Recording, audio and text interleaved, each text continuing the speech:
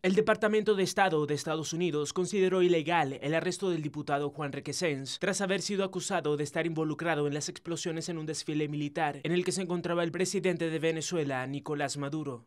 A través de un mensaje de Twitter, el secretario adjunto en funciones para Latinoamérica, Paco Palmieri, defendió que esa acción es solo el último ejemplo de una larga letanía de abusos a los derechos humanos. Palmieri también expresó que el Ejecutivo venezolano hace caso omiso del Estado de Derecho con el arresto de Requesens.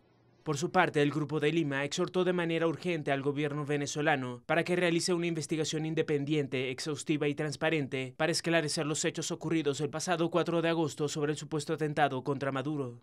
La coalición de países también repudió cualquier intento de manipulación que se haga al respecto para perseguir y reprimir la disidencia política, además de rechazar firmemente los presuntos abusos contra los diputados Julio Borges y Juan Requesens, a quienes el gobierno acusa de terrorismo.